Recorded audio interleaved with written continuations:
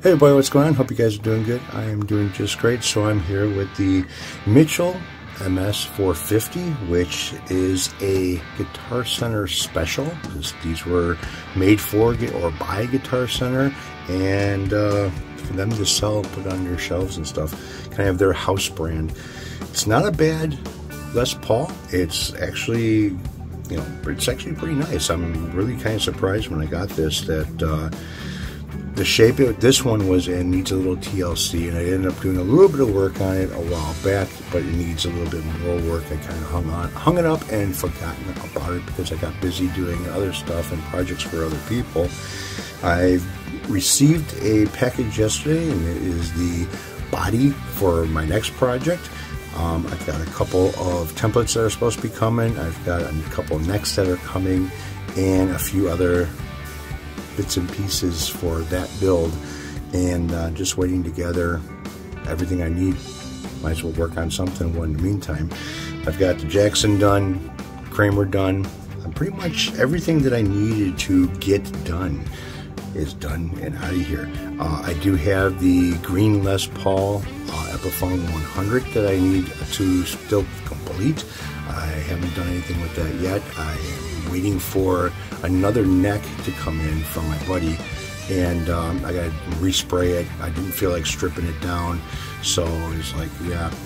Had some problems because of the mahogany. I didn't use any grain filler on it. I figured, well, it's not going to be too bad, but the finish started to bubble. Air started to come out of the wood and cause some issues with the finish. So not a big deal. I can refinish that, no problems. I just have to do it a different way in order to keep the finish from bubbling on that. So I'm going to work on this thing.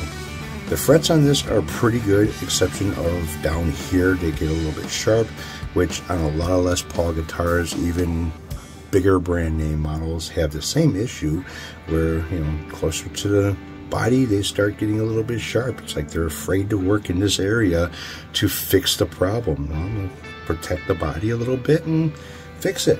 But all the rest of the frets feel pretty good. They're a little bit dirty. I do need to do a little polishing on them and get them cleaned up. They're not damaged in any way. Uh, although this guitar has some bruises on it, it doesn't seem like it is in like really, really bad shape as far as the guitar goes. I take the back cover plate off. I do have the pickups loose right now because I'm going to end up sanding down this finish and re polishing it, you know, doing another buff job on it. So as you can see here, they ended up shielding with the shielding paint the inside of the cavities for the humbuckers. And the pickups aren't really marked. One just says neck and the other one just says bridge on it and some type of a decal sticker. Now, this is a veneer. There is no doubt about it. It's a veneer. You can tell just by how this edge looks over here. Um, there's not even a cap on top of this. So all of your drilling and stuff, these are all hard drilled inside here. It was probably drilled without the neck before they start going from one chamber to the other chamber. You can tell this is on a little bit of an angle, so you know that this is not a cap on top of this body. It's one piece. And I don't even think that the binding on this thing is a real wood binding. They've kind of made it look like it's real wood by by giving it a stained look, so to say. So it kind of has like a flame maple look to it, but it really doesn't go into the flame maple top like you would think it would if it was a true flame maple all in all, the price range of these guitars it isn't bad for a, like, from what I've been reading, an entry level or somewhat of an entry level guitar. Price range you can go for anywhere a little bit over $300 to about 150 bucks. And that's not what I paid for it, though. I paid much, much a lower price. And I feel kind of bad for the seller because I don't think he was really wanting to sell it at a, a low lowball price. But it's the internet, you know, people see, people want, people buy, and regardless of what the bid was, you gotta take it and gotta sell it. Unless you put a reserve on it. Now, the body of this thing is in really good shape as far as the body goes. The body doesn't have any damage to it or anything else like that. It's more finish damage than anything else that's on here. So I got a few marks inside of here. I got a little bit over here that that's kind of like not smooth. It's a little bit chewed up over here. So it's not really damaged and it's in the binding. Um, there's some scratches going on in this thing. There's not really dense inside of it, but there are some low spots on it. So as far as quality, as far as being built goes, unless things have happened to this guitar uh, that you know nobody really knows about. It got a ding here, it's got a ding there, but from what I can see, as far as getting in the light and looking at some of the things in the light, they look like finish flaws. Like there's um, there's a little bit of a dimple in the wood or uh, underneath the finish that the finish kind of just flowed with, gone with the flow, basically. So it's not like bad and you really got to move it around in the light to see it. Now when I do the wet sanding on this top, that is going to hopefully correct some of that problem and make it a nice surface again. Now this is a little bit of a arch top and it's not as much as a Les Paul would be because the way this comes up and this is not as flat here like a Les Paul would be. Les Paul's got maybe like, I don't know, an inch and a half, maybe two inches going around the edge, maybe two inches, probably more like an inch and a half. This is a little bit less. Actually, it's a lot less. And you got your flat area and then it goes up into the arch. Well, this is not really arch really high at all. The fretwork on this thing seems to be really nice. Um, there doesn't seem to be any wear at all. Just kind of like the frets are just you know, tarnished a little bit from being dirty. Real nice inlays on here. They feel pretty good as far as how smooth they are. I'm not going to do any type of a fret leveling to this or even um, you know crowning or anything. It, it doesn't need it. It just needs a good cleaning and taking care of a little bit of these fret ends over here. And like I was saying about the headstock, the headstock had a little bit of damage over here, and the top cap of the headstock, which this is all a cap over here, it's probably like some type of a plastic uh, was peeling up, coming up a little bit. So I ended up putting some CA glue underneath it, clamping it down for a bit, just with some uh, masking tape, and then going ahead and filling in what was missing over here as far as the chip goes of the cap with some epoxy resin. And it seemed to have kind of like worked out pretty well but it just needs a little bit of TLC. You can kind of see the transition from the cap to the epoxy resin pesky finger in the lens of the camera, huh? Yeah. All right, so the tuners don't really have any type of a name on them. They're not branded at all, but they are a locking tuner. And I'm not sure of the ratio of it is. I haven't really looked at the specs on them as being a quality tuner, but they hold without slipping at all pretty nice. And this lock mechanism is just a screw-on lock and you can unscrew it all the way. And you got some real nice brass gearing inside there, which look a little bit on the dry side, but sometimes it's not worth putting a little bit of a lube or any type of or oil inside of some of these tuners because that can cause dust and other crap to accumulate inside those gears in time and kind of like make it a little bit difficult to turn. So they kind of match the headstock with the shape of the truss rod cover on this, and you can tell that somebody really tightened that truss rod cover down because of the way that the hole is kind of pushed in a little bit. Yeah, it's either a wrong screw or they just tightened it really, really tight. So I'm gonna get into this fretboard and start filing down these fret ends and getting them nice to the touch. So the frets on this are not in too bad of a shape. There's no wear on them whatsoever. They do need a little bit of a cleaning as far as like polishing goes or whatnot.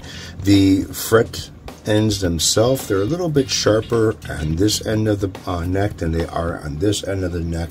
But I'm going to go ahead and work all the way down. I'm using the StewMac 1175 and this has got a rounded edge on this side and a flat surface on this side there's no grit on this side and there's no grit on this side but I wouldn't recommend using the flat side to go onto your fretboard because depending if it's a binded neck or not if you go a little bit on an angle with it you're going to end up digging into the fretboard itself but I kind of use it at times because I can get really flat with it and really close to that edge and round that off really nice. So I'm going to go ahead and start with this.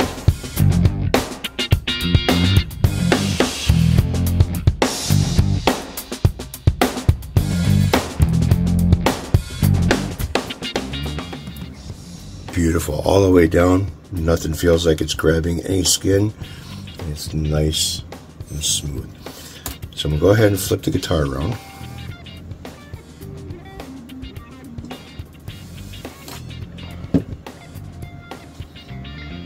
and start working on the other side.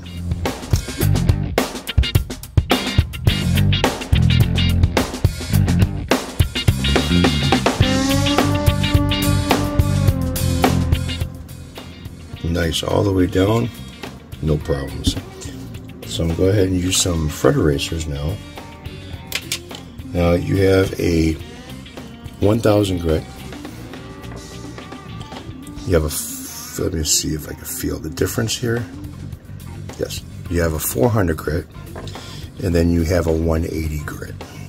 So I'm gonna go ahead and hit this with the 180.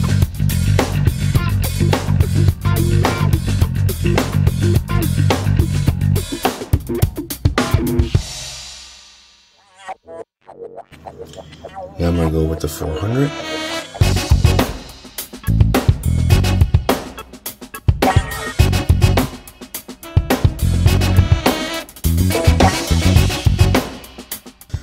Now to finish it off with the 1000.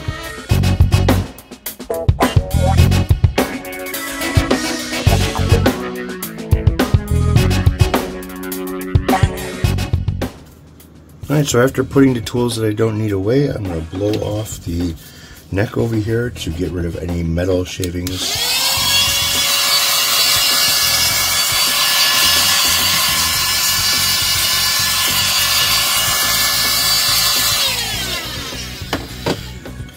and then go into polishing the fretboard. Now, I don't mind using, uh, or polishing the frets. I don't mind using the Dremel. It seems to work out pretty good, and I don't have any problems with control as far as uh, staying in one spot or you know heating up the frets and stuff. But I'm just going to do it manually, kind of do it the hard way, and just get it done.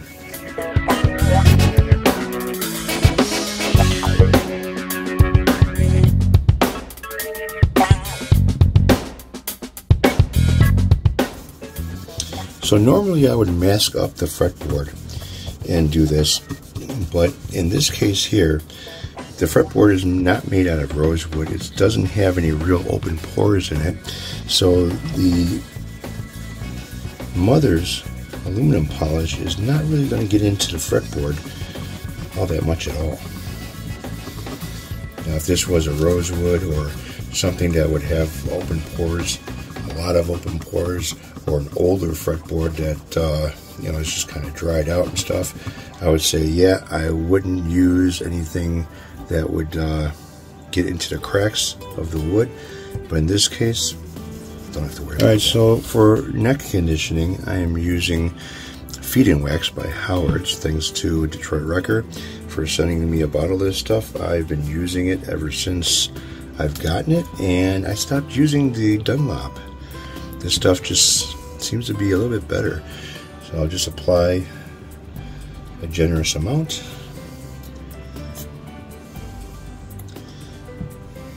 a few frets at a time.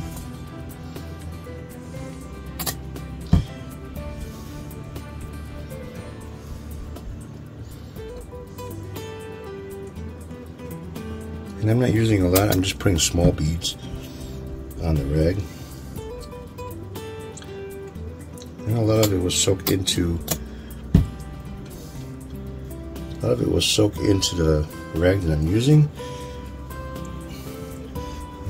This to do is I want to coat the fretboard really nice. Let it sit for a bit and then come back and wipe the excess off. So it's been a little bit now and just wiping the excess off the fretboard of the Howard's wax and feed.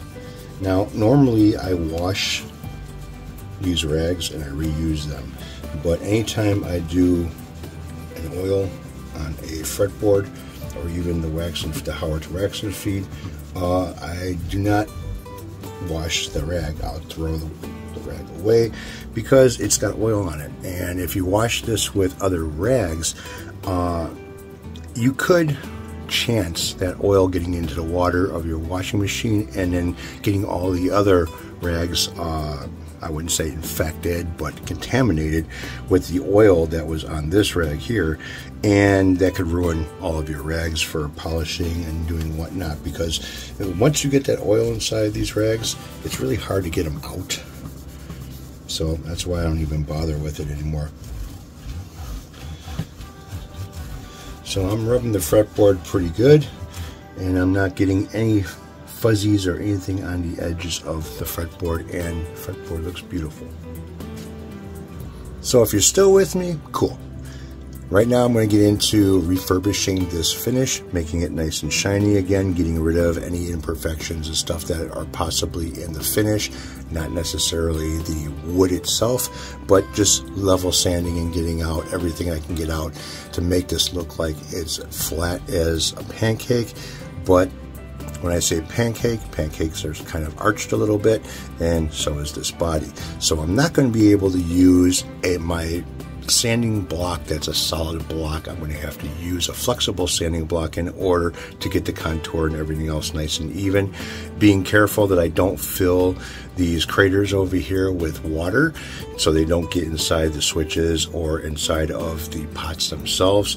And all of the holes that I have that are drilled into the body have been filled with a little bit of uh, clear coat and I've got little containers of clear coat that I use for touch-ups. And what that does is that makes a barrier between the finish that's on top of the guitar and the wood that is inside the hole. This way you don't get any wood swelling and causes any problems with the way that you know the body looks nice and neat. So I'm gonna go ahead I'm starting off with a 1500 grit sandpaper wet sanding fresh water and going to it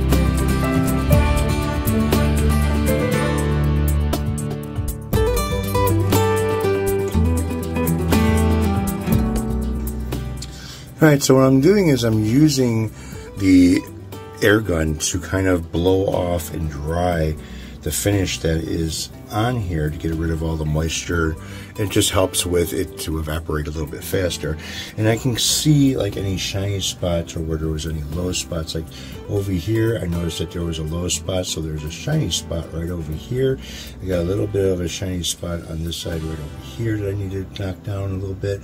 But all in all, everything else that I was finding seems to be gone. So this spot here and this spot here will be taken care of with the 2000 grit sandpaper. So I'm not going to have to worry about it. They're not like really, really low spots. So what I'm going to do now is concentrate on this side, moving this pickup over here.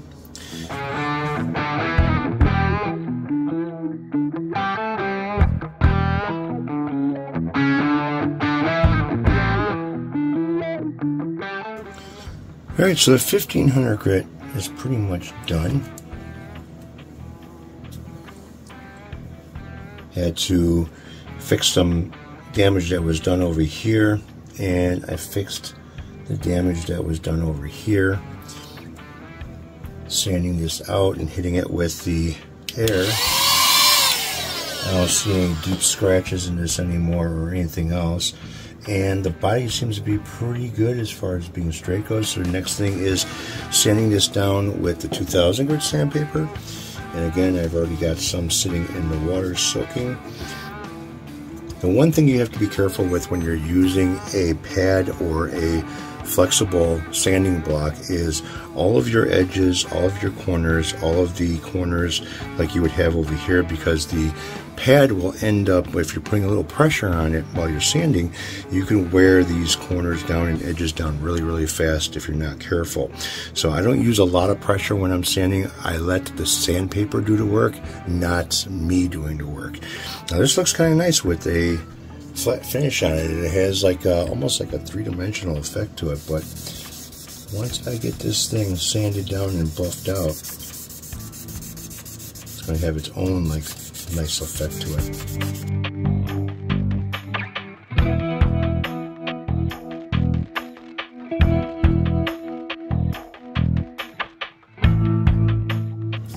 Alright, so looking at this, move some of the stuff over over here. Look at it in the light a little bit. I don't see any low spots or any shiny spots. And it looks like the 2000 took care of the scratches from the 1500. It's nice and smooth. Mean, this is like like really really smooth. And I'm ready to go ahead and start buffing out the top of this to get that shine back on here. Now, I stayed away from the string ferrules because uh, it's really not bad around those edges and I don't need to pluck those out. I left this guy in there. I'm going to put the other one back in once I buff this side out over here. This had some damage on it. I took the razor blade, just kind of scraped some of the CA glue that I put around the edges over here off of there. And it seems like, you know, I didn't get any water in here. Everything seems to be okay. All right it's time to buff this thing out. Now I do want to cover up part of the fretboard a little bit because I don't want to sling this uh, rubbing compound all over the place. So I'm going to get a rag and start doing that.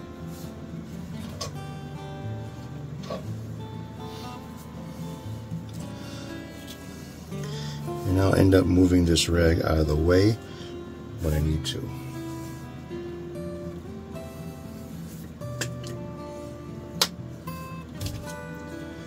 Again, I'm not sharing the type of rubbing compound that I'm using.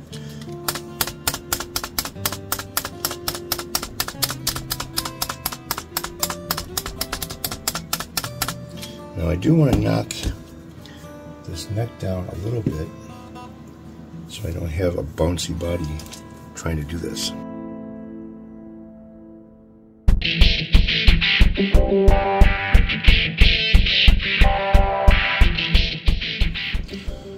Alright, so I want to check out the progress that was made with buffing this thing out and all this wet sanding they did and see with the fluorescent light what I got going on as far as divots, dents, or anything else. So looking at the body, I got some rubbing compound over here I got to remove. So looking at the body with the fluorescent lighting and getting it like right in the light, you can see any type of a flaw that might be in the finish which I see right here a little bit of a dent otherwise everything else is looking really good here so I'm going to do a little bit of wet sanding in this area over here to see if I can get that more even with the clear and buff that again Yes, the only bad thing about using a flexible sanding block is it contours with everything that is, is going on with the body. So after buffing it out, you can see, especially with fluorescent light, and actually almost any type of a light glare, you can see whatever type of an issue that might still be inside your finish. And that's why I say sometimes fluorescent lighting could be your friend or it could be your enemy when it comes to doing any type of a buffing. You can see uh, scratches as far as uh, fine scratches that are still in the finish that are not giving it a mirror-like gloss finish. Uh, especially with like the color black and, and, darker colors, dark blues and stuff like that, are really, really hard because the light is not forgiving at all. It shows everything. So it may look like it's been polished really, really nice, but when you get it and you start moving it around, you'll start to see that there is some areas that you might have missed or didn't work on long enough in order to get those spots nice and shiny again. So I've got this area over here looking good as far as the uh, damage goes. The nice thing about um, CA glue is it buffs out. I mean, you can actually polish CA glue and it buffs to a nice gloss finish as well as, you know, using some type of a clear coat. And in some cases, a lot of guitar uh, builders have used CA glue as a clear I don't know if I would do something like that myself, but yeah, it does work, and it does work pretty good. So what I want to do is I want to sand this area down over here. And actually see with the reflection of the light, if I could tell if there is some, I need my air gun.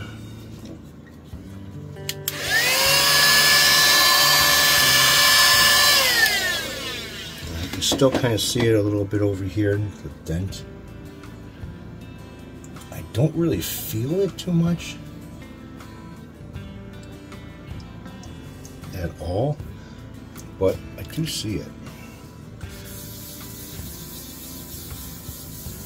To continue to just to sand this area and kind of feather it into the surrounding area a little bit so it doesn't look like there's a crater there even though this is an arch top body and you probably wouldn't even notice it, but yeah.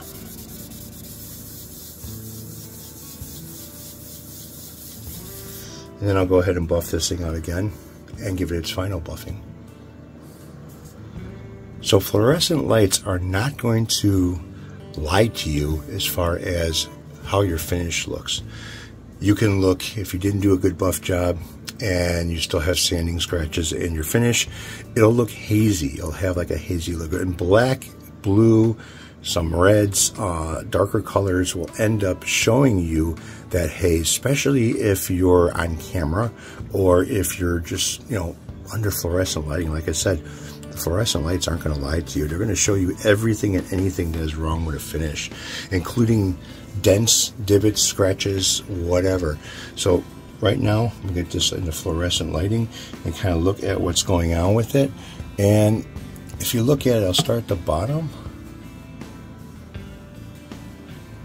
I mean, it is all, it's all there.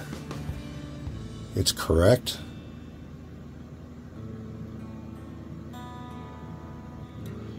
So I end up knocking out that little dent that was in here. You got to be careful when you do something like that too, because you don't know how much finish is on the body.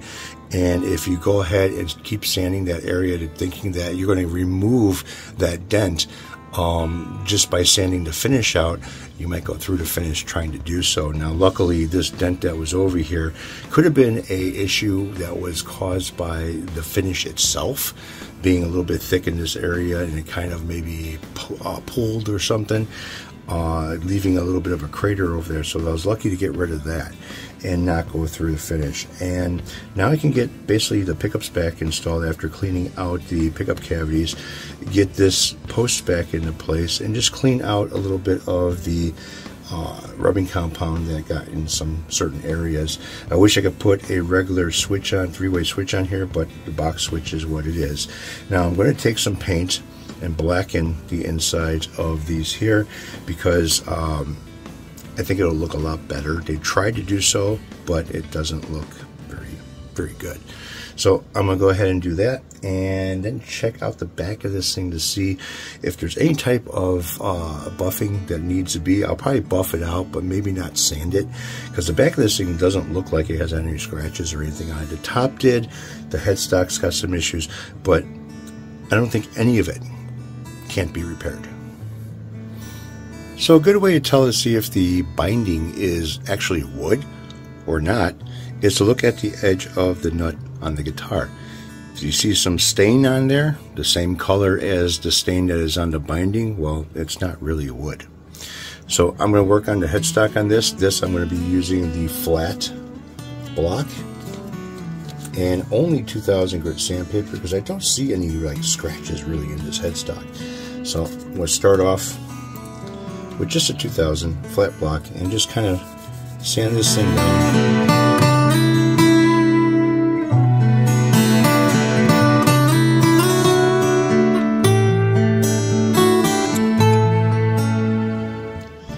Alright, so let's take a look at this a little bit. And I don't know if you can see this in the camera or not, but right over here these would be sanded a little bit more. I can still see scratches in it from the 1000 grit sandpaper. So I'm going to hit it a little bit more with the 2000 to get that out to nice, to get that to smooth out really, really nice.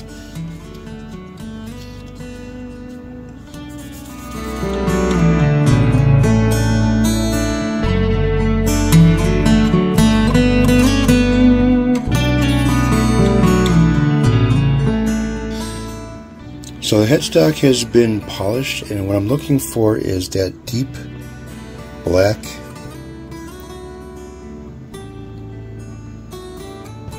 shine on there. Now I really can't do too much with that point that's on the headstock right there. I repaired it a while back and it's just going to show that there's a seam there without painting the whole painting the whole headstock. Yeah, it's just going to have to be there.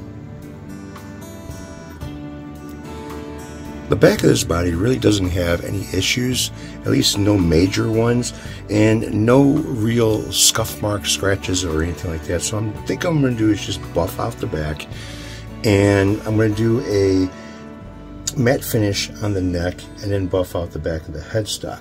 So that'll be done after I do the buffing on the body.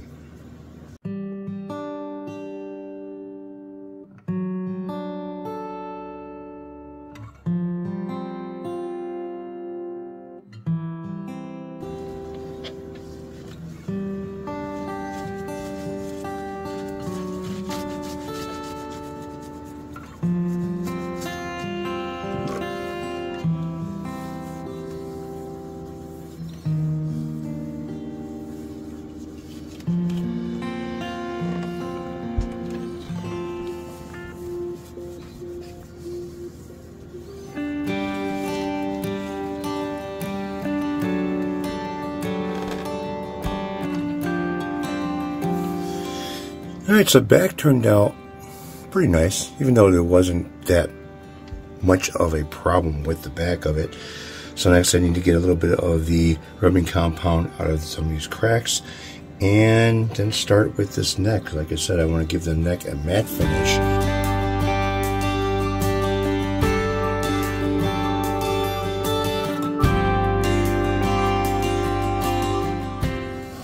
Alright, so another thing I like to do with guitars is put a generous amount of wax on the body that just protects the finish that much more. So as you can see, I got the post in over here, I got the knobs in over here. I end up doing the black underneath them, kind of make it look just a little bit more better than just having some faded paint underneath them. And you pop these things out and you can kind of see inside there. So same thing with around the three-way switch, you know, you get that faded paint look underneath there, and it just, you know, just little details like that to just make it a lot better than what it was. So if you think that your bridge, especially your Tune-o-matic bridge, can go in in any direction that you feel like putting it or installing it in, think again, take a look at it, and you'll see that some of the saddles the V's that are in the saddles are wider on one side than they are on the other. So that's telling you that, well, the wider string will sit in a wider saddle, right? Right. So next time you end up putting in a Tune-o-matic bridge, take a look at that because there are directions as far as which way that bridge should go. So I am ready to wire this thing up, and I mean wire it up by putting its strings on. So I'm going to go with the, the D'Addarios.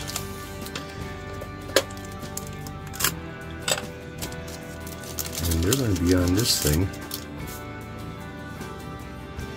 I don't like the way they package these because you gotta like be very very careful not to open or unravel them around your guitar because you could scratch the shit out of your guitar.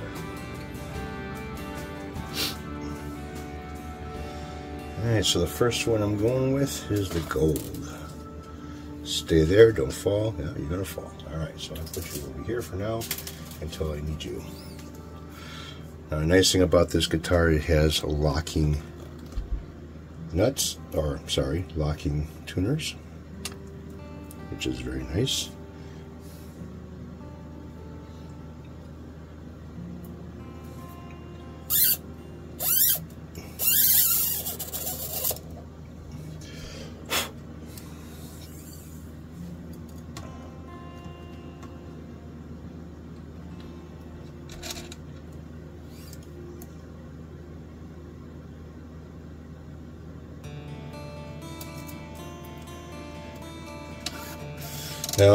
Take my index finger, put the string up at the first knuckle, kind of give it a little bit of a tug, loosen up the slack. Now you could do that so you have a little bit more wraps around your tuning peg, but with having locking tuners, it's just a straight shot. Get this thing even up a little bit so it goes into the nut. Yeah, that's it. That's all you got to do and then tighten it up. Alright, so the next thing I gotta do is I gotta set the string action height. Now, I've already done some work with the nut on this thing as far as setting the action height. I did that a long time ago. The neck relief has already been set on this as well. And all I did was clean the frets. I didn't level them or crown them earlier, so I shouldn't have to change anything as far as the neck or the nut goes. So let me get my screwdriver so I can adjust this. Releasing some of the string tension is kind of a good idea as far as adjusting this. Now, if you end up releasing too much string tension, the pickups can end up drawing the string closer to them, changing what you're going to be at your 12th or 17th fret. So what I like to do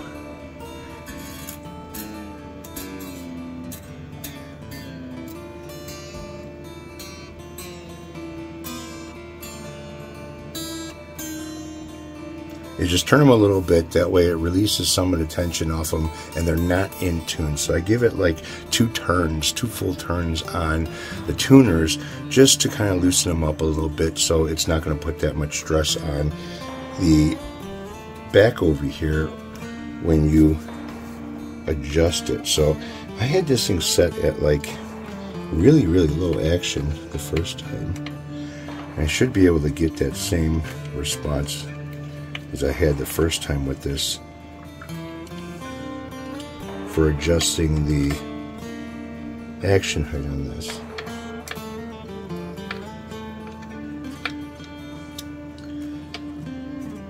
So I've got a 16th and a 16th. A 16th on this side and a 16th on this side. So right now I'm going to go ahead and tune this up. These locking tuners that are on this, they turn really smooth.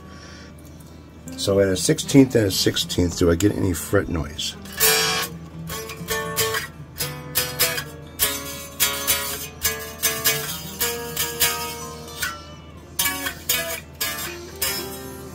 A little bit of fret noise. So what I'm going to do is I'm going to tweak this because maybe a 16th and a 16th is way too low for this but I don't want to go over 5 64ths with this at all. Now every time when I tune up a guitar and say that it's, you know, way sharp, I'll turn it back to where it is not way sharp and then start creeping up from there to put the string in tune. Now if I check my intonation, it should be still set because I didn't change that. And I didn't change the neck at all. So if I put the neck... Yeah, she's right on the money. So with fret buzzing,